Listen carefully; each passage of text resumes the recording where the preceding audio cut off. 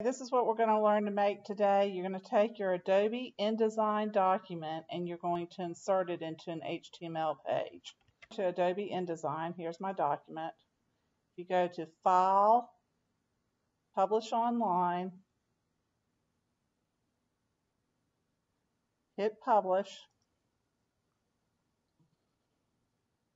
hit View Document. Here it is. It didn't pop up because I'm recording it and it's a little bit slow whenever I do recordings. So this is it. This is a different document than what I had up there before. It's very simple. All you have to do is go down here to the right.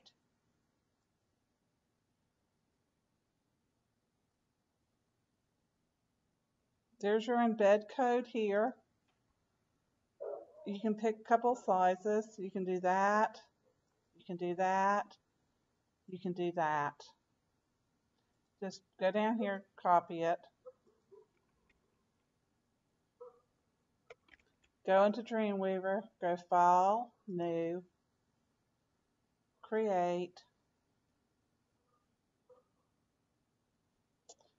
Okay, for some reason it won't give me a clean page, so I will just delete all this out and show you all what I did.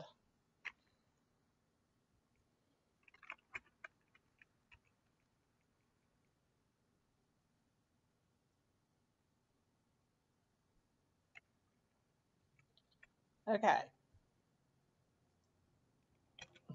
If you do that, that gives you this. It's got this read now thing on here and you don't want that.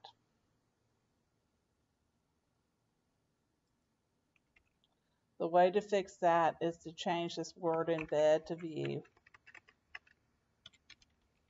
And the way I figured that out is because up here it says view. Now, that gives you this.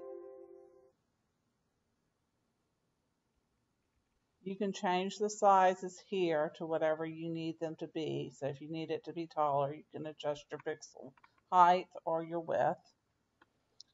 Need to wrap it in a div. If you want to center it, it just gives you more control. You can probably center the iframe tag, but I'm not doing that. I'm going to do a div. So I did control T there to get my wrap tag open. I'm typing div here. I'm hitting enter twice and it puts the div in there for me.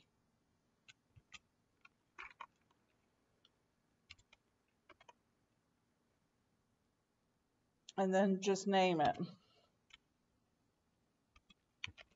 Whatever you want to name it. And I'm doing this so I have something to center.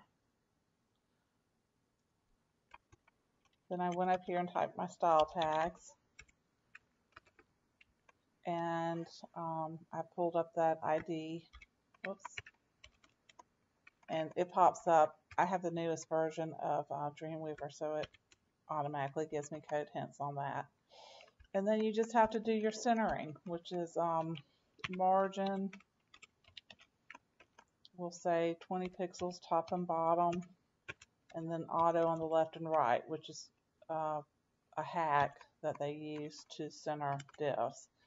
And then um, in order for this hack to work, you have to use the width. You have to put in a width.